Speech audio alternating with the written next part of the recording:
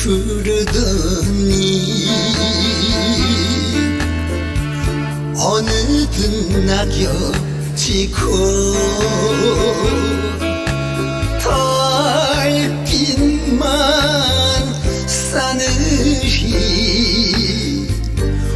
허전한 가지.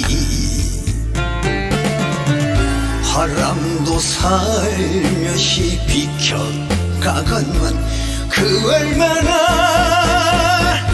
참았던 사무치 상처길래 흐느끼며 떨어지는 마지막 잎새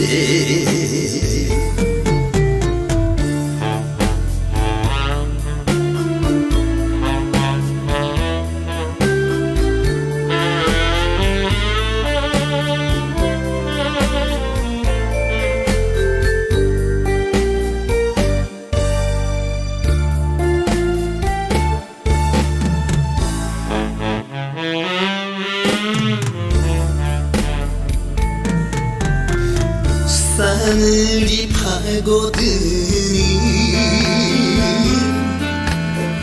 가슴을 파고들어